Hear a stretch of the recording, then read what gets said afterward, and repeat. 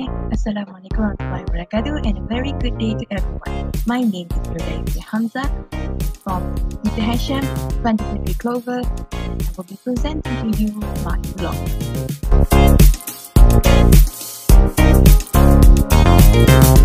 Malaysia is a country that have their own uniqueness caused by diversity. Due to this uniqueness, many varieties of food can be found in each state and even district.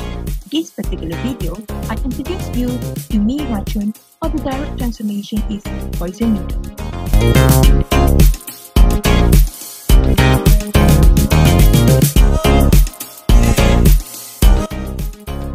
The name may have poison, but don't be afraid, there's actually none. This exquisite dish can be found in Batu Pahat Johor and is popularized along with other dishes, other dishes such as nasi biryani gam.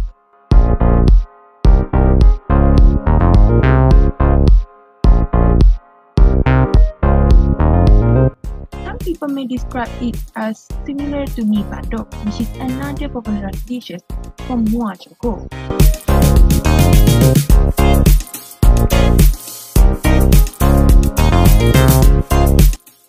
Comparison to mi bandung, mi racun is more sweeter and not as creamy as mi bandung. Mi racun is made by using bone or meat broth mixed with spices such as dried chili, blended onion and garlic, and tomato sauce and chili sauce.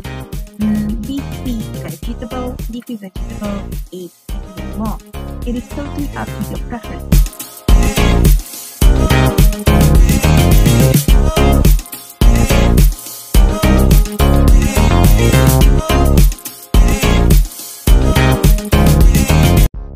Particular food stall that I went to is located at Batu Pahat town, which is called Mi 3G.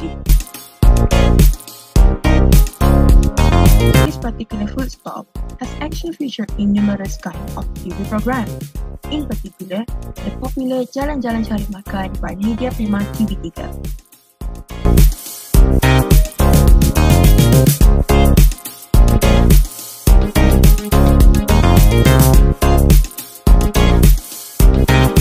The is a bit small, but you can enjoy a full experience.